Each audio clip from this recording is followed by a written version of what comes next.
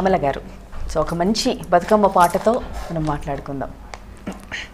ఈ బతుకమ్మ పాటలమ్మ ఆశువుగా స్త్రీలు పాడుకున్నటువంటి పాటలు ముఖ్యంగా గ్రామీణ వాతావరణంలో జానపదులు పాడుకున్నటువంటి పాటలు. కానీ జానపదులు పాడుకున్నా కూడా వాళ్ళు స్త్రీలు పాడుకున్నటువంటి పాటలైనా ఎంత చక్కటి శిష్టుల యొక్క గౌరవాన్ని వాళ్ళ యొక్క ఆచారాన్ని గౌరవించినటువంటి వాళ్ళు. శిష్టులు ఏం చేస్తారు? ఏ రచన ఏ కావ్యం ఏ పాట ఏది రాసినా వాళ్ళు శ్రీకారంతో మొదలు పెడతారు కానీ వీళ్ళు కూడా ఏం చేశారంటే అదే పద్ధతిలో వెళ్ళినటువంటి వాళ్ళు.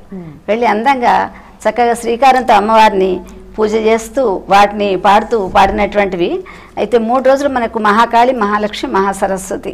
తొమ్మిది రోజులు మనం అమ్మవారిని పూజిస్తాం. అందుకని ఆ తొమ్మిది రకాలైనటువంటి పాటలు వీళ్ళు పాడతారు. అందులో పౌరాణికం ఉంటుంది చారిత్రకం ఉంటావు సాంఘికం ఉంటవి. ఈ రోజు జరుగుతున్నటువంటి విషయాలు.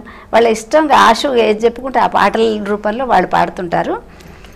ఎక్కువ మొట్టమొదలు పాడుకునేటువంటి పాట ఇదేనమాట శ్రీలక్ష్మిని మహిమలు గౌరమ్మ చిత్రమై తోచునమ్మ గౌరమ్మ శ్రీలక్ష్మిని మహిమలు గౌరమ్మ చిత్రమై తోచునమ్మ గౌరమ్మ భారతీ సతివై బ్రహ్మకిల్లాలివై పార్వతీదేవివై పరమేశ్వరాణివై పరగ శ్రీలక్ష్మివయ్యు గౌరమ్మ భార్యవైతే హరికిని శ్రీలక్ష్మిని మహిమలు గౌరమ్మ చిత్రమై తోసునమ్మ గౌరమ్మ.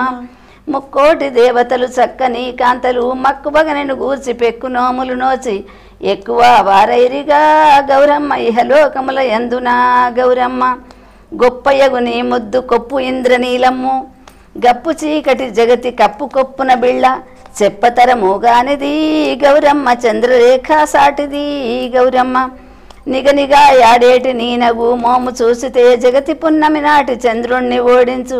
సొగసైన నీ తిలకము గౌరమ్మ చూసితే ఆనందము. తెల్లవరి బియ్యము మల్లె మొగ్గలు లేక తెల్ల వజ్రంబులో ముల్లోకములు ఏలు. తల్లిని దంతమ్ములు గౌరమ్మ దానిమ్మ బీజమ్ములు.